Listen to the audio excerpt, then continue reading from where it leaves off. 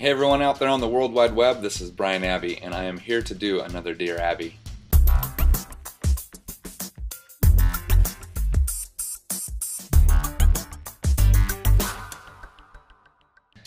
Hey, high school hypocrite. Um, know that it's not a name that I necessarily wanted to go with, but uh, that's the way that this young man was feeling, and I appreciate his heart.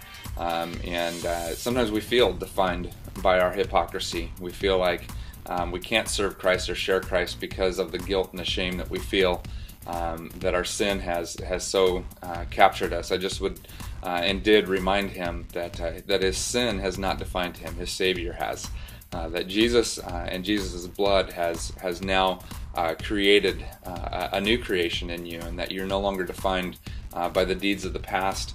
Um, in fact, Paul says it really well forgetting what lies behind and pressing on toward the goal to win the prize for which Christ has called us. Christ has called us to share Christ, to share Jesus with, with lost souls, and to, uh, to, to glorify Jesus by um, making him known. And know that uh, that there's there's so many uh, examples in Scripture of this, of, and I would just say, bathe yourself. Those that are struggling with this this idea of hypocrisy, understand that that each of us is going to continue to uh, to participate in, in sinful things, um, but the Holy Spirit will, will guide you through um, and past those things. Continue to, to be, be launching into the Word. Um, bathe yourself with Scripture. Uh, look at guys like Peter.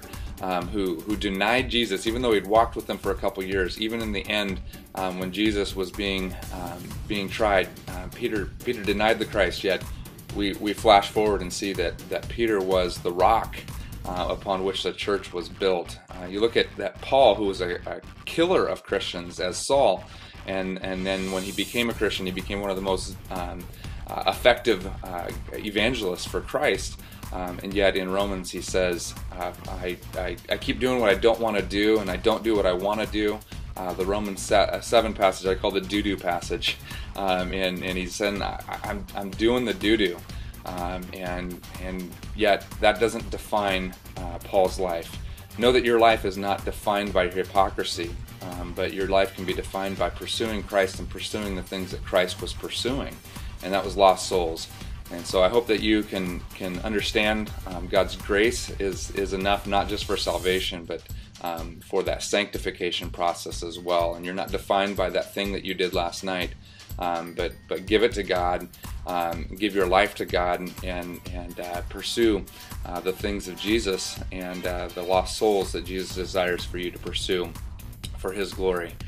Um, and uh, your your your story is going to help a lot of people. Thanks a lot.